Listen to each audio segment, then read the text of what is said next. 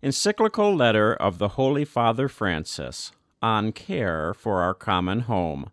Chapter 1 What is Happening to Our Common Home? Chapter Introduction and Section 1 Pollution and Climate Change.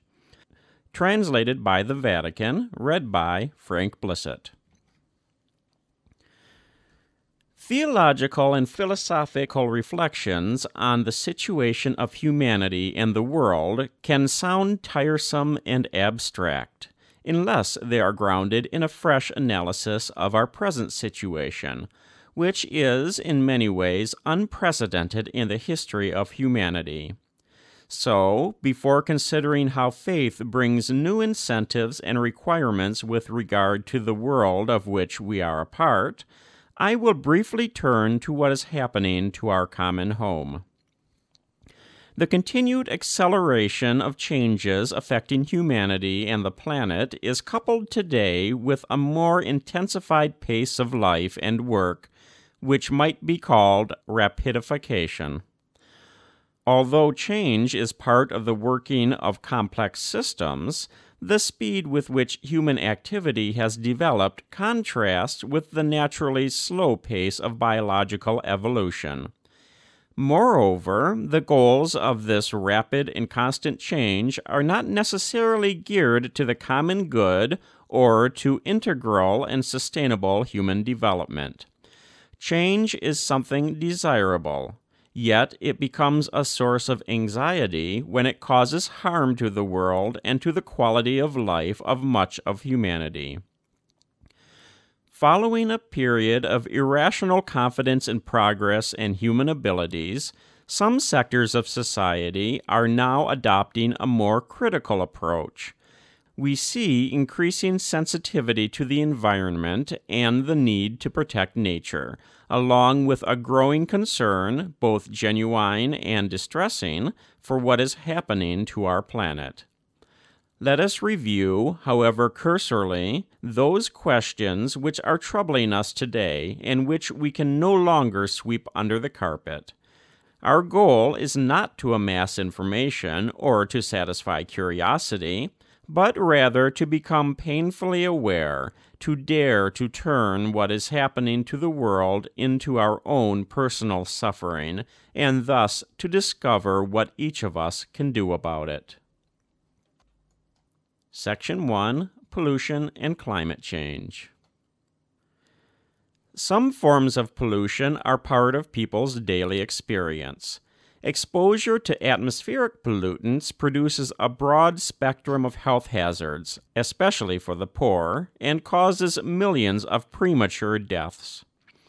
People take sick, for example, from breathing high levels of smoke from fuels used in cooking or heating. There is also pollution that affects everyone, caused by transport, industrial fumes, substances which contribute to the acidification of soil and water, fertilizers, insecticides, fungicides, herbicides, and agrotoxins in general.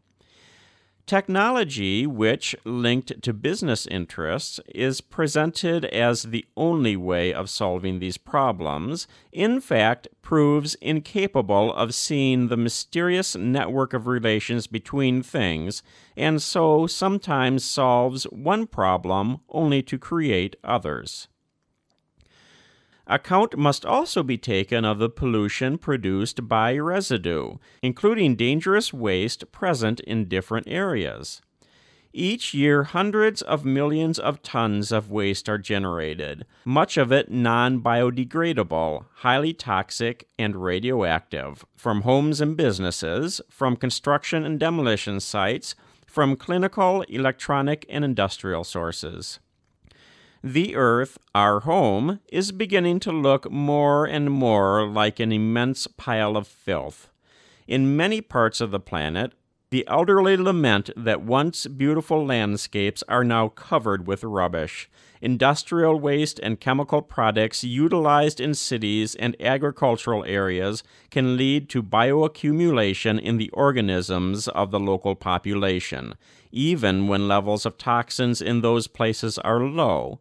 Frequently, no measures are taken until after people's health has been irreversibly affected.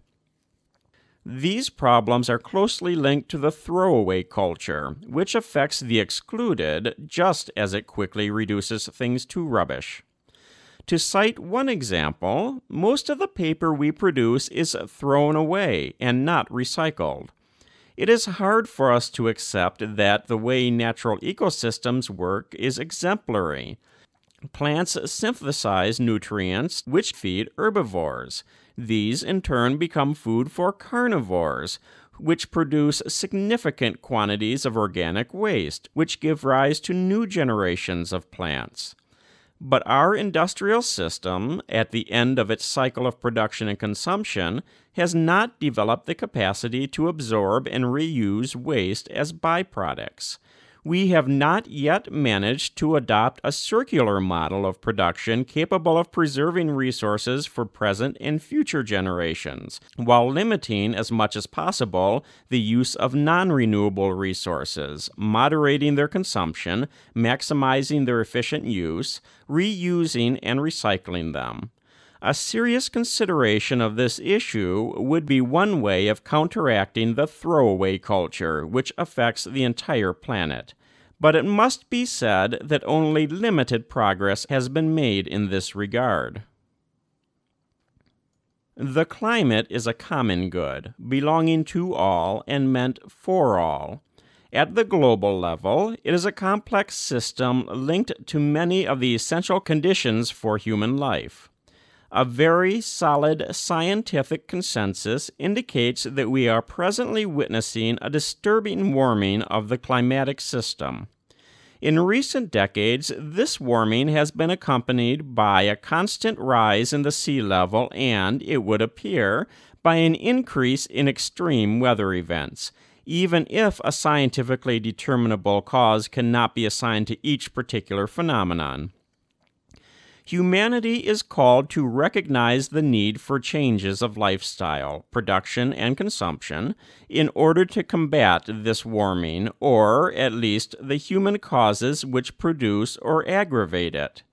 It is true that there are other factors, such as volcanic activity, variations in the Earth's orbit and axis, the solar cycle.